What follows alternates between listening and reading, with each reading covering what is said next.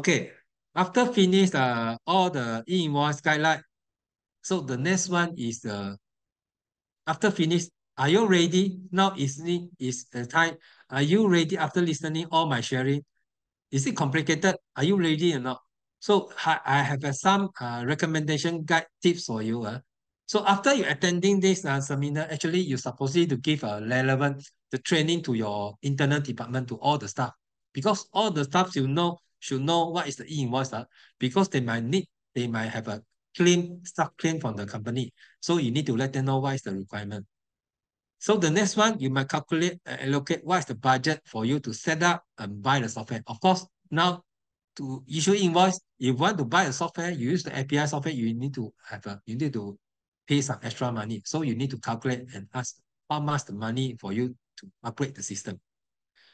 And then make sure the accounting software is compliant with the e-invoice requirement. Uh, all right. Identify your customer request and customer detail actually start from now, you can start request your customer detail, like TIN number, email address, whatever. You put in your customer uh, file first. So when the uh, Thai invoice is ready, so you're already able to issue invoice to your customer. Don't wait until the last minute. Uh. So if you wait until last minute, then, then when the time come, you want to issue invoice, you need to ask the customer many questions. So there's no, no enough time for you to issue invoice on time. So you can start from now uh, send out the letter to your customer, ask them to give you the all the details required for the invoice.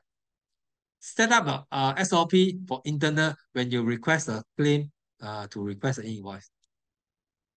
Identify whether your industry fall under the consolidated, whether you're required to issue consolidated. Identify whether you fall under the self-bill. So reconcile the revenue of e-invoice and consolidated. Okay. Prepare and update employer policy and staff benefit claim. And then any backup plan, whether if let's say the system down, where's the backup plan? So this is a quick tip for you uh, for to implement e-invoice in your company.